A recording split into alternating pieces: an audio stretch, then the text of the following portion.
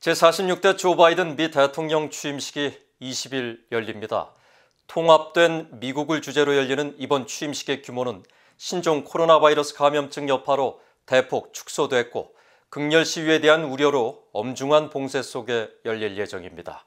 함지아 기자가 먼저 보도합니다. 제46대 미국 대통령으로 선출된 조 바이든 당선인의 취임식이 20일 미국 연방의회 의사당 앞에서 엄숙하게 치러집니다. 앞서 수도 워싱턴 DC에는 경계가 대폭 강화됐습니다. 백악관과 취임식이 열리는 의사당 주변은 철조망과 콘크리트 장벽 등으로 차단된 가운데 무장한 주방위군이 삼엄한 경비를 펼치고 있습니다. 의사당 앞 내셔널몰과 주변 도로, 워싱턴 시내 주요 지하철역들이 폐쇄됐고 버지니아주에서 워싱턴 DC로 진입하는 다리도 모두 막혔습니다. 미국 내 50개 주에서도 무장 시위가 벌어질 수 있다는 경고에 따라 주 방위군 투입을 늘리거나 의회를 봉쇄했습니다. 지난 6일 도널드 트럼프 대통령 극렬 지지자들의 의사당 난입 같은 폭동에 대한 우려가 고조되고 있는 가운데 바이든 당선인의 취임식은 전통에 따라 의사당 앞 서쪽 계단에서 진행될 예정입니다. Um, I think that will send an incredibly important visual uh, image to the world about the resilience of American democracy.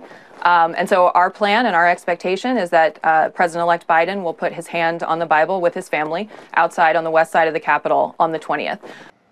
취임식에는 조지 W. 부시와 빌 클린턴, 바락 오바마 전 대통령과 마이크 펜스 현 부통령이 참석합니다.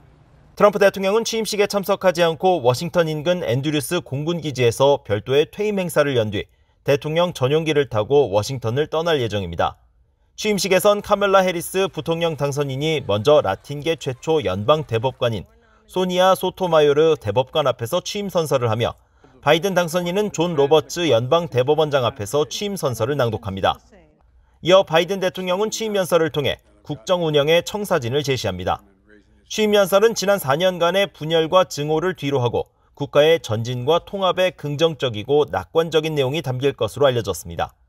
취임 연설 뒤에는 가수 레이디 가가의 미국 국가 독창과 제니퍼 로페즈의 공연, 실버스타 비먼 목사의 축원 기도 등이 이어질 예정입니다. 바이든 대통령은 취임식이 끝난 뒤 군 의장대를 사열합니다.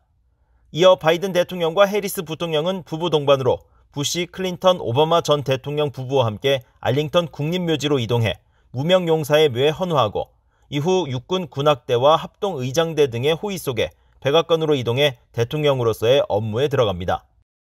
역대 대통령 취임식에서는 보통 20만 장의 초청장이 발송됐지만 올해는 신종 코로나 바이러스 여파로 일반 국민 초청은 없고 상하원 의원들이 단 한 사람씩만 초청할 수 있습니다. 퍼레이드는 온라인상의 가상 행사로 대체됐고 전통적인 대통령 취임식 날 밤 무도회도 생략됩니다. 대신 배우 톰 행크스가 진행하고 유명 연예인들이 출연하는 90분짜리 TV쇼로 대체되며 바이든 대통령과 해리스 부통령이 출연해 연설할 예정입니다. 뷰이 뉴스 함자입니다.